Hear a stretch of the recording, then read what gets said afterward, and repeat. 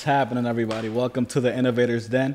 I'm formerly known as Hashtag Danny Silverio, and I'm here with Steve O Business, and we have a special, special guest. We got Marcus here. What's up, Marcus? What's up, everybody? How y'all doing? We're doing great, man. So it's a pleasure to have you here because you've been doing something great with the community.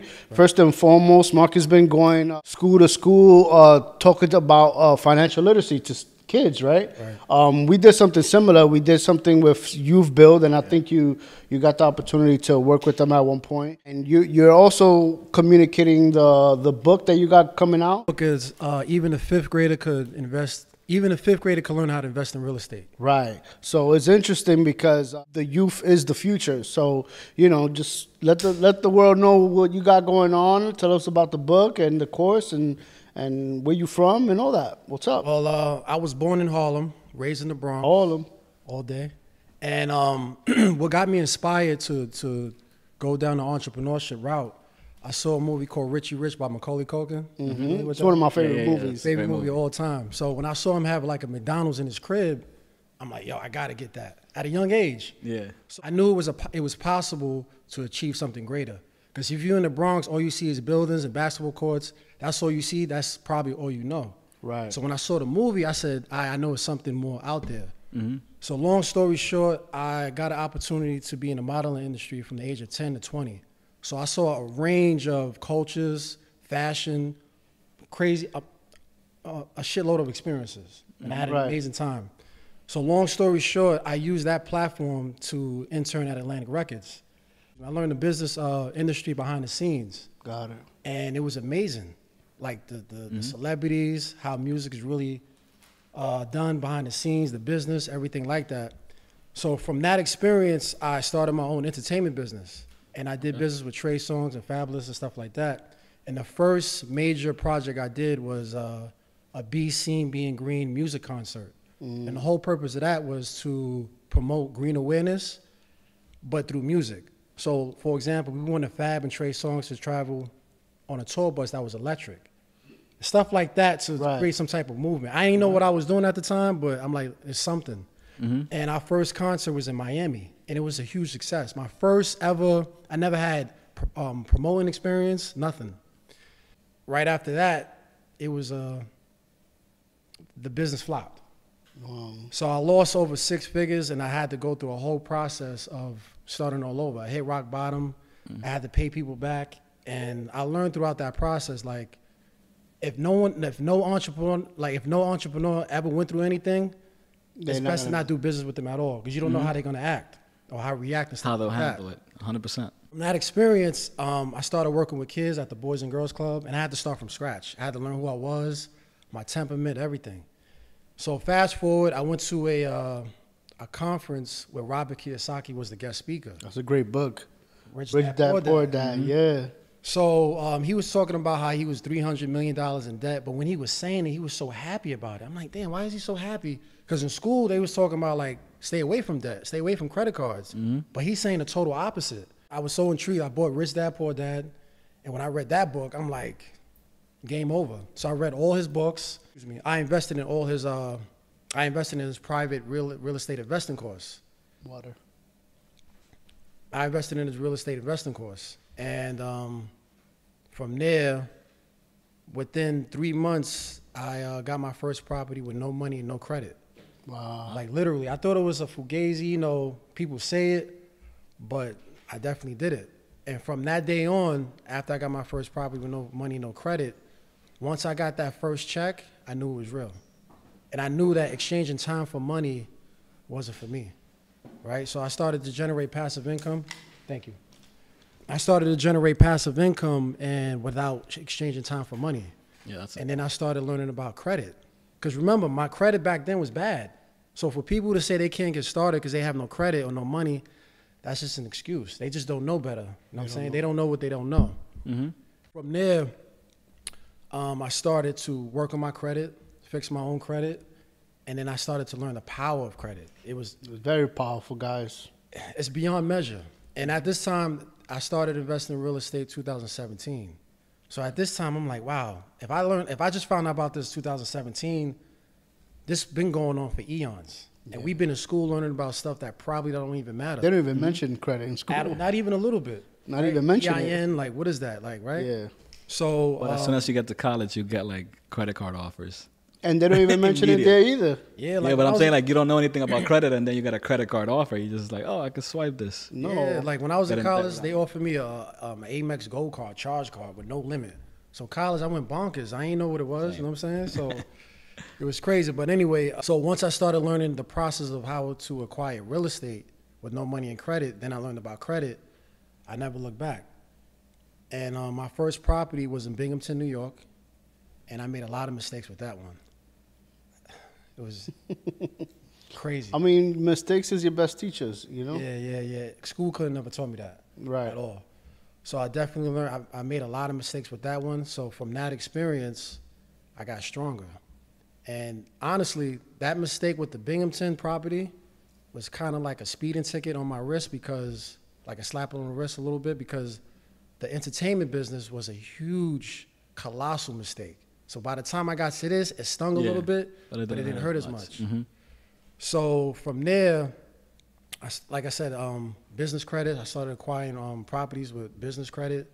So now I invest in Delaware, PA, and Ohio. So I don't invest in New York because New York is not landlord friendly. Yeah. I'm not saying don't do it, but from my experience, Yeah, it's uh, I just don't invest in New York.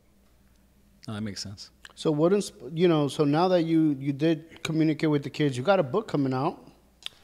Right. So, based on my experience investing in real estate and going through the ebbs and flows, I knew that the kids had no idea what was going on in the real world, not even a little bit. And it was very disturbing what's really going on in the real world, and they're not teaching it in school. So one day I just started going. So, because I went to, because I used to work at a Boys and Girls Club, I started going back to the Boys and Girls Club and say, listen, I would like to do a, a workshop, teach the kids about financial literacy in a fun way, and see how they receive it. Mm-hmm. Because financial literacy, if you think about the term, is mad boring. It's not enticing. It's not exciting. Mm-hmm. Right. So they gave me an opportunity, and I just started teaching kids from third grade all the way to adults. Wow. And the third between like the third graders, third graders and sixth graders, they get it so easily, because when you're an adult, you have to unlearn to learn again. Right. It's very frustrating. But kids, it's not so much garbage in their mind, so they easy to Uh, filter. They adapt real quick. right? So they, they adapt real quick. And then the more I started to do it and teach it, I started to have fun. I started losing track of time, and I was doing it for free.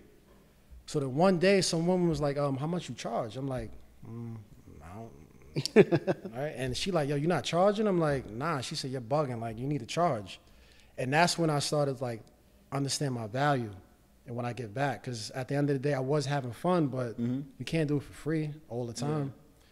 So from there, I started create a buzz and a following, and then before you know it, all the after-school programs and schools started reaching out to me. I say, you know, can you come and teach? And for 90 minutes, I um, do like a cool curriculum for them to have fun and learn at the same time. And I introduced the cash flow board game, and it's like Monopoly, but it, it applies to real life. So the more mistakes that you make on the game, it will shorten your learning curve if you continue in real life. You get what I'm saying? Yeah. It's an amazing experience, and that that had so that led into the book. Mm. Now, me writing a book, I never saw myself writing a book, never, never in a million years, like Right. ever. And I feel like me writing that book, if it wasn't a struggle for me writing a book. I just like one day I was just home bored and I just started typing. And then 25 pages later, I said, man, let me just double space this to see Boom. You had a it was book. 50 pages and i'm like wow this is a book and i just kept going and going and going and it felt natural it was a natural flow and that from that experience i felt like struggle i don't think struggle is normal you might have challenges but i don't think i think we make struggle we complicate things so we struggle Right. and i'm only using that because when i wrote the book i didn't struggle it literally just flowed through me and out of me and i just it just became a book Wow. so it's synonymous with the book and the financial literacy that I teach at the financial workshops. I have a curriculum coming out, I have a book coming out, and I'm just going to continue to um, spread my message, awareness, and just have fun doing it. When is the book coming out? The book is going to launch the end of August, From there, I'm gonna just use that as a platform to do uh, public speaking workshops and get the message out there because I think a lot of people make real estate extremely difficult to learn because they use all these mumbo jumbo words and they Right. probably don't even know it. Can you speak on like maybe four or five markets that you think is, are coming up and four or five markets that you think is going down? As far as like, uh, Well, different strategies of real estate, right? There's buy and hold, there's flipping, there's wholesaling, and things of that nature. So I real like I keep it simple. I focus on cash flow and I focus on states that's landlord friendly. Because if you if you invest in, in New York, it's more in favor of the tenant. It takes them it takes tenants forever to get kicked out, evicted. Now I don't I don't want people to get kicked out, but on the land on the landlord side of things, I can understand it. On the tenant side, you don't want to get kicked out. So it's more in favor of the tenant. So I invest in like states like PA, Ohio, Delaware, just to name a few, because they're so landlord friendly that the the court is more on your side and they don't play games. So as far as like I don't really follow trends like that because trends come and go. Mhm. You have to just do your due diligence and know what works for you. You get what I'm saying? So there's no wrong or right way of doing things. It's just you got to figure out what works for you, and I, and I just stay in my lane. So do you have like a cash flow calculator or something like that? Yeah. So what I do is I have like a, a, a analyzer, and I just I plug in numbers, and if the numbers work for me, then I'll go out and see it. I won't I won't waste the broker's time, the agent's time. We don't need to see each other. If the numbers work, then I'll build a rapport with you, and then go from there. And it's not it's it's really simple, but I think the more and more I continue to have more experience in it, it's really simple. I think just people just make it complicated and use big complicated words. And I'm still learning to this day. So I might be in rooms, they might say some long word, and I'm like, "Ah, what does that mean? And if they can't explain it, then I just can't learn from you. I got to learn from someone else. So That makes sense. pretty much it. That makes sense. So you mentioned that you had a lot of um, hiccups or hurdles and with the Binghamton co- property. One, like, what did you learn from those hurdles, and what can you teach somebody about? Okay, so, all right. So when I first got the property in Binghamton, I was super excited. Like, you couldn't tell me nothing. So my ego was on a on a whole nother level. You couldn't tell me nothing. So I was so excited that the first tenant I got, I didn't screen her. So I ain't do no background checks. I just said she has Section Eight. Come on in, easy money, right? as soon as I did that, it was like a, a roller coaster from day one. From day one. So at the time, I was working at the Boys and Girls Club. So Binghamton was four hours away. Yeah. So Wow. if she had like a, if the tenant had a light bulb that went out, I had to go all the way up there just to change the light bulb. I had like, I was so green. I was just so green. I didn't know anything. So I didn't hire a property manager. I was just self managing it. So, and the tenant knew I was a rookie. She smelled it. She saw it. She said, "Oh, you need to do this. You need to do that." And I went, you know, I, I went with it, but I knew she she just took You need to advantage, and I allowed her. yeah, You know what I'm Well, saying? still- But she was my best teacher, and I thank her. Like if I see her to this day, I'll thank her because I'm glad it was a two. Uh, it was a duplex property. I'm glad it wasn't like a 10 unit building. Mhm. Yeah, she she gave me a run for my money, and with that property, um, I was stressed out, and I had that property taken away. So I hit rock bottom with that one, and I bounced back, and I got more property, and now I make less mistakes, Mhm. and I'm continuing to grow from there. So you would say that for uh, entry level investor, let's say, Right. they come in, how important is to have a, a property management uh, A, a property manager is extremely important because it can make or break your deal. Like even if you get the property, if you get a if you hire a, a bad property manager, you could lose money and lose the property completely. A lot of people think that because if someone is a lawyer and they might say something that you not agree with, but because that person's a lawyer, they're not going to question it because of the title. Not all lawyers are created, created equal. Same for property managers. So what I do is I interview three property managers to see if they qualify to manage my property, and they, if they fit all the checklists, then I'll work with them. Got it. Mm. So that's how. So that's how you want to like prevent from going through what I went through, and because I self managed for eight months, it's, tough. It was tough. But after the eight months, I did hire a property manager. But after I hired them, it was too late. Yeah, it was already. But to, to piggyback what you're saying, I think I highly suggest whoever starts hire a property management team that knows what they're doing, and you just have to do your background checks on them to make sure that they qualify, and it makes your job so much easier. Now, if someone's uh, taking your course, do you provide like a list of the top property managers? Well, I give I give a few I give a few uh, contacts as far as brokers, agents, because at the end of the day, it is a relationship business. No matter what industry you're in, it is relationship based, right? Everything is. Everything. Can't escape it. I tried. It's, it's not fun, right? So I do give contacts, brokers, property managers, banks who to go to, have some contact with some lenders that could give you some funding. I teach people the basics about how, how to get your foot in the door. I don't get the property for you. I teach you how to get it on your own, and I'll just walk you through that process. And if That's you need dope. some help, I got some contacts, and from there, once I give you my contacts, you build that rapport. And I'm not like, oh, that's my contact. No. I give you the contact, you build that relationship, and you go on your own. I'm always here to help, but um, that's what the pro- you know that's what the the course is built on.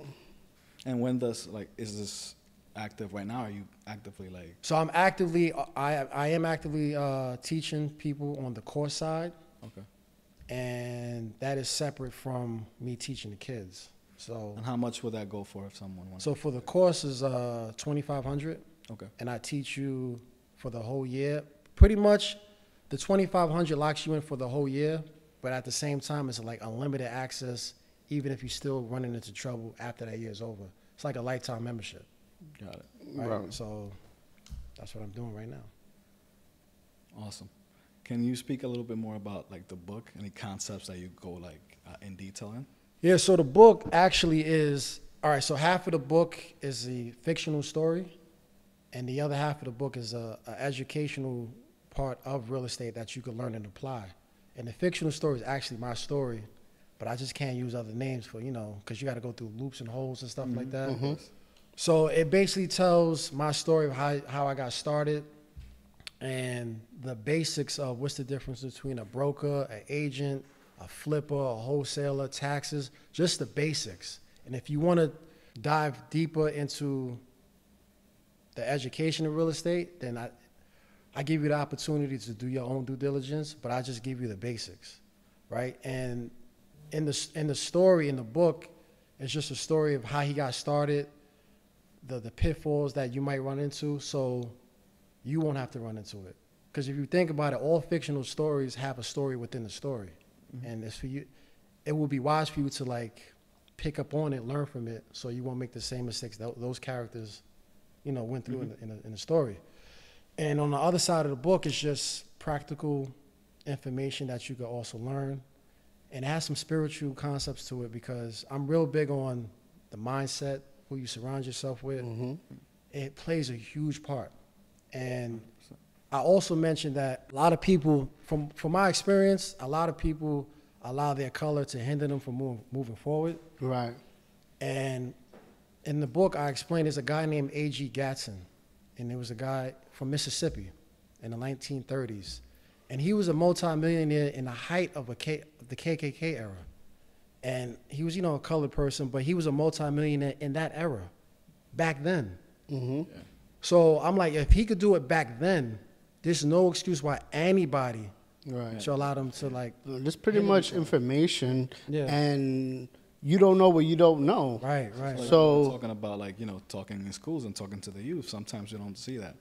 I Right. think uh, I think Cassell mentioned that that you know like we, we look into music in, as as our like teachers, right? Like rappers and artists as our like teachers. So Yeah, they we looking at them as a figure of like aspiration. Right. Uh, but sometimes they might not be the right person to teach us about credit. Ain't no rappers teaching us about credit and business credit and how to set these things up For for example, ourselves. I think they had like MTV Cribs back in the day, and they would rent some of those homes. Yeah. And us as kids, we're like, "Oh my wow. god, I need to," like, need to not visit understanding the logistics of the music industry, not understanding like the hurdles of that, you know, what they go through to just be artists every day. hundred percent. So I think it's important to uh, for the youth to see someone that looks like them it, it definitely helps, right?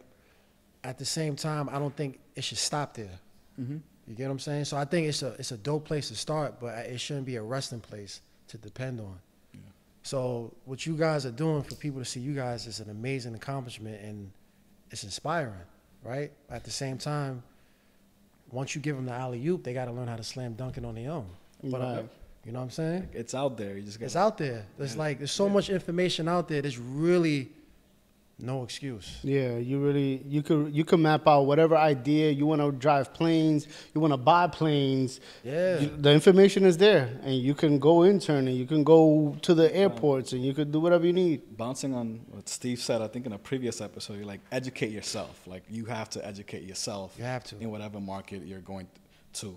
Um, that said, five pointers if I wanted to start tomorrow uh, to purchase some. Oh, if you wanted to start it tomorrow. Yeah, if I wanted to invest in a property, no money down or So one thing you would have to do is well figure out which strategy you want to get into, right? So there's flipping, wholesaling, buy and sell, things of that nature. So you have to figure out which category you want to get your foot in the door with. Okay. So that's that's first thing given. So once you figure out what works for you, let's just say hypothetically you want to do buy and hold. I went to Craigslist. And in Craigslist, you could type in keywords to narrow down your search to see what properties are available. So, for example, I typed in a keyword called seller financing. Seller financing basically is a, a property owner who doesn't want nothing to do with their house no more. And they probably have tenants in the house and they don't want to be a landlord. So, what they do is they put ads out there like, listen, um, I want to get rid of, rid of this house. Does anybody want to take over? And it's ads like that on Craigslist all day, but you really have to do your homework and do your due diligence and find those type of properties. And once you find those properties, you can I can help you, but basically I'll help you like structure, reach out to the seller and know what to say, so they they'll be willing to hear you out and see what type of offer you got. Mm-hmm. So for example, the first I've I've gotten two properties with no money, no credit. So I found a problem. Like there was a woman, she was uh, in the verge of foreclosure. So I was a solution to her problem. So it was on Craigslist, and I reached out to her. I said, "Listen, I could take over your property. This is my offer. Are you willing to hear me out?" She was willing to hear me out, and I literally put zero dollars. And I took over the property, and all the cash flow came to me, and I continued to pay the mortgage for her. And after the end of three years, the deed and title was transferred to me. Wow, So that was no money, that's a gem. no credit. yeah. So a lot of people think this you have to have a um, a boatload a boatload of money to to get Or started extremely high credit. or high credit, and you don't. Now, does high credit and Can help lower your mortgage easier. interest, Yes, right? Of course. it does It it, opens definitely up more makes it doors, easier. I'm sure. But I think when you start with when you start with money, you, most in most cases you get lazy because you have the attitude. You do bigger mistakes. You don't have to be creative in most cases. But if you don't have no money, you have to be creative. You have to be you have to be so like you have to think outside the box. And I think everybody has the opportunity to be an entrepreneur, um, whatever endeavor they choose to get into, whether it's real estate or any other industry. You could literally start with no money, and eventually the money will come if you put the work in, meet with the right people, and just follow your dream. That's awesome. Oh, that's amazing. So, where, where's the best places that people can find you right now?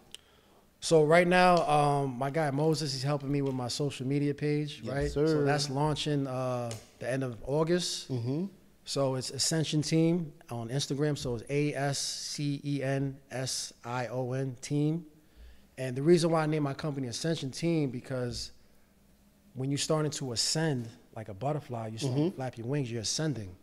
So anytime I teach the kids, the goal is to shift their mindset from level one and ascend to the highest level as their ideal self. That's why I chose Ascension. And uh, if you need to get in contact with me, my contact info is info at ascensionmanagement.com. Excellent. Well, it was great to have you, Marcus. I think it was a great segment. We learned a lot about, you know, the process and the opportunities in the real estate space. I think there's a lot to work on, you know? Absolutely. We Absolutely. gotta have a conversation outside of the show. Yeah. I'm so grateful. I appreciate the opportunity and thank you. Yeah, thank you. So don't forget to subscribe. Uh, follow us on the Innovators Den. Hit that alert button and uh It's a wrap. soon. Hey! Bye.